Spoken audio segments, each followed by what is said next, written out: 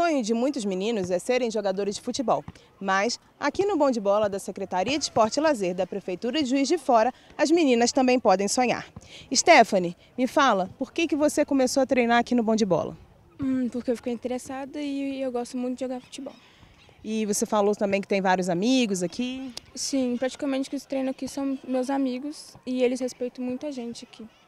Mariana, quais que são os desafios de treinar com os meninos? O que, que você acha de treinar junto com os meninos?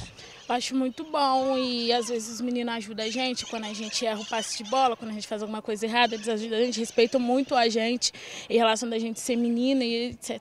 Aqui elas treinam junto com os meninos e podem mostrar todo o seu potencial. O Bom de Bola recebe meninos e meninas dos 6 aos 16 anos. O programa busca propiciar a crianças e adolescentes, principalmente aquelas que vivem em risco social, uma atividade orientada que possa afastá-las das drogas e da violência. Eu trabalho com futebol feminino tem 15 anos e consigo fazer com que tanto as meninas quanto os meninos se respeitem.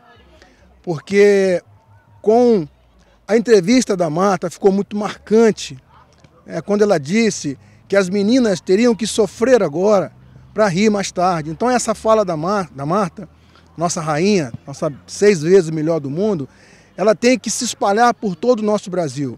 E aqui no Bom de Bola tem que ser, não pode ser diferente. Nós temos que começar aqui. E quando as meninas chegam, elas têm que se sentir em casa para que essa fala da Marta possa se tornar realidade. Para começar a treinar, é só procurar um dos núcleos e fazer a inscrição diretamente com o professor, no horário da aula.